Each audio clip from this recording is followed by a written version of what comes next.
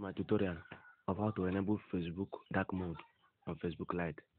Please like and subscribe. Subscribe, please subscribe. First, you have to get the latest version of Facebook Lite. As you can see, I have the latest version of Facebook Lite installed on my phone.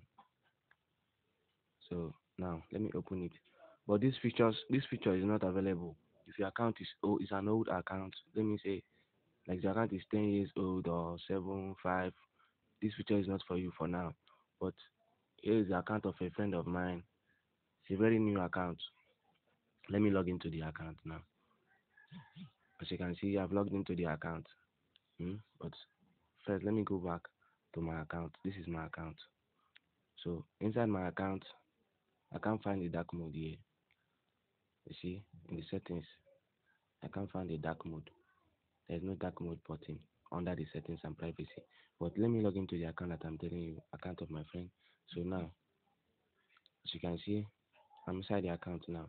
Now I press this top menu bar, then scroll down. Down here, you can see the Facebook dark mode. Yes. So if your account is old, forget about this feature. But if your account is a new account, update your Facebook Lite and enjoy the new, new dark mode. As you can see, I'm now on dark mode. Everything is dark. Oh, what a what a nice feature. Please don't forget to subscribe for more videos of how to how to do anything you don't know how to do on Facebook. Thanks for watching. Please subscribe.